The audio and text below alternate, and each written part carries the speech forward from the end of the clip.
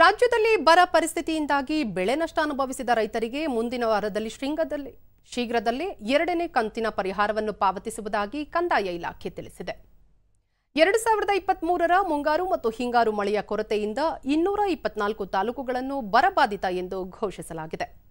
SDRF ಮಾರ್ಗಸೂಚಿಗಳನ್ವಯ ಕಳೆದ February ಮತ್ತು ಮಾರ್ಚ್ನಲ್ಲಿ ರಾಜ್ಯದ ಮೂವತ್ಮೂರು ಲಕ್ಷ ಐವತ್ತೆಂಟು ಸಾವಿರದ ಒಂಬೈನೂರ ತೊಂಬತ್ತೊಂಬತ್ತು ರೈತರಿಗೆ ಮೊದಲ ಕಂತಿನಲ್ಲಿ ಎರಡು ಸಾವಿರ ರೂಪಾಯಿಗಳಂತೆ ಆರುನೂರ ಮೂವತ್ತಾರು ಪಾಯಿಂಟ್ ನಾಲ್ಕು ಐದು ಕೋಟಿ ರೂಪಾಯಿಗಳನ್ನು ಪಾವತಿಸಲಾಗಿದೆ. ಅತಿ ಕಡಿಮೆ ಜಮೀನು ಹೊಂದಿರುವ ನಾಲ್ಕು ಲಕ್ಷದ ನಲವತ್ಮೂರು ಸಾವಿರದ ಆರುನೂರ ಮೂವತ್ತೊಂದು ರೈತರಿಗೆ ಸಂಪೂರ್ಣ ಪರಿಹಾರ ಪಾವತಿಯಾಗಿದೆ ಎಂದು ವಿವರಿಸಲಾಗಿದೆ.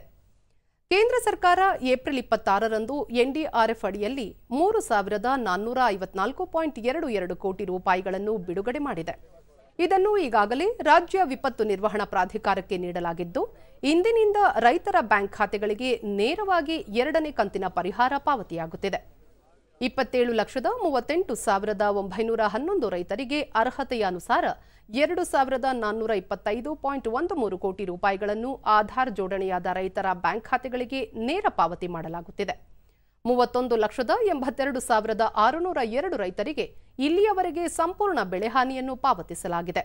ಉಳಿದ ಎರಡು ಲಕ್ಷ ರೈತರಿಗೆ ಬರ ಪರಿಹಾರ ಮೊತ್ತ ಪಾವತಿಸುವ ಪ್ರಕ್ರಿಯೆ ಪ್ರಗತಿಯಲ್ಲಿದೆ ಎಂದು ಕೃಷಿ ಸಚಿವ ಕೃಷ್ಣ ಭೈರೇಗೌಡ ತಿಳಿಸಿದ್ದಾರೆ.